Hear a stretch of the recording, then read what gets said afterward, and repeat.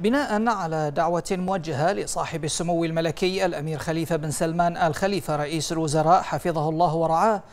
من المدير العام لمنظمة الصحة العالمية. أناب سموه وزيرة الصحة سعادة الأستاذة فائقة بن سعيد الصالح لحضور الاجتماع الأول الرفيع المستوى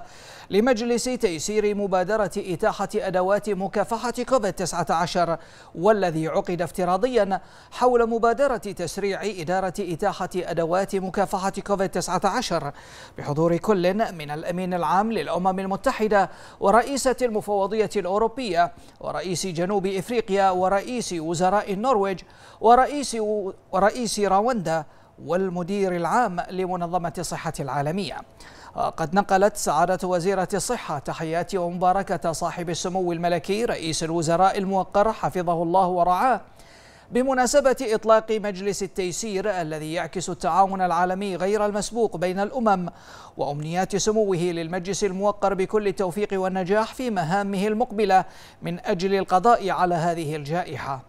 وأشادت وزيرة الصحة بهذه المبادرة التي تدعو للالتفاف العالمي تحت هدف نبيل موحد من أجل دعم الإنسانية مؤكدة على أن تلك المبادرة تعد دليلا واضحا على دعم منظمة الصحة العالمية الجهود الدولية والعالمية المبذولة وتأكيدا على دعوتها لتسريع إنتاج لقاحات كوفيد-19 ووسائل تشخيصها ونشرها على نحو منصف بما يعزز من تذليل العقبات التي تواجه دول العالم جميعا للتصدي للجائحة. وأكدت الوزير الصالح في كلمتها خلال الاجتماع الرفيع المستوى على اهتمام حكومة مملكة البحرين بالقطاع الصحي وذلك في إطار استراتيجية الحكومة الرامية إلى تنمية الخدمات الصحية المقدمة وفق أحدث الأساليب العالمية بما يعزز من إمكانات وقدرات الحكومة في مجال توفير رعاية صحية وطبية متميزة للمواطنين والمقيمين. وأشارت إلى دعم البحرين لمبادرة تسريع الإتاحة بما يعود بالنفع على البشرية أكملها. إلى ذلك تحدثت الوزير الصالح بإيجاز خلال مداخلتها عن الجهود الوطنية لفريق البحرين بقيادة صاحب السمو الملكي الأمير سلمان بن حمد آل خليفة ولي العهد نائب القائد الأعلى النائب الأول لرئيس مجلس الوزراء حفظه الله للتصدي للفيروس والتي كانت مرتكزا للنجاح في مواجهة فيروس كورونا كوفيد 19 فكل ما تم تحقيقه بروح الفريق الواحد أسهم بشكل كبير في حفظ صحة وسلامة المواطنين والمقيمين في مملكة البحرين.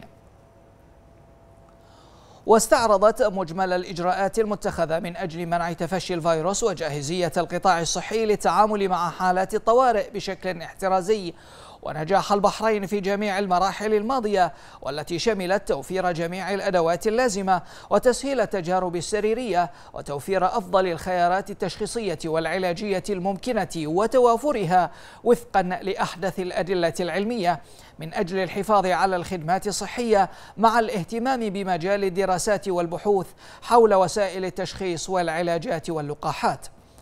وكشفت وزيرة الصحة عن تأييد الاعتراف بمجلس التيسير منتهزة الفرصة للتأكيد على أهمية دعم الدراسات والبحوث وضمان التوزيع العادل والمنصف عبر البلدان وداخلها من قبل أصحاب المصلحة والمانحين الدوليين لضمان المساواة في تلقي الخيارات التشخيصية والعلاجية وتلك المتعلقة بالتمنيع والحصول على إمدادات ومنتجات موثوقة ومناسبة وبأسعار معقولة مع تسهيل عمليات التعبئة والتجارة عبر الحدود بحيث يكون لدى الدول خطة واضحة للتنبؤ والتوزيع ليتم تضمينها في الميزانيات وأن تكون هناك سياسة دولية لشفافية والمساءلة. يتم من خلالها دمج الأخلاقيات والسياسات وأولويات البرامج بما يضمن توافر الكميات المطلوبة للفئات المستهدفة في الوقت المناسب. وفي ختام الاجتماع أكد المشاركون على أهمية الوحدة العالمية واستمرار الجهود لمكافحة الفيروس والتعامل والتعامل مع كل المستجدات بما يضمن صحة وسلامة الإنسان والتمتع بأعلى مستويات الصحة وبشكل خاص حقبة ما بعد كوفيد-19 مثمنين جميع الجهود الجبارة التي يقوم بها منتسبو القطاع الصحي حول دول العالم ومساهمتهم الملموسة في الحد من انتشار الفيروس من أجل الإنسانية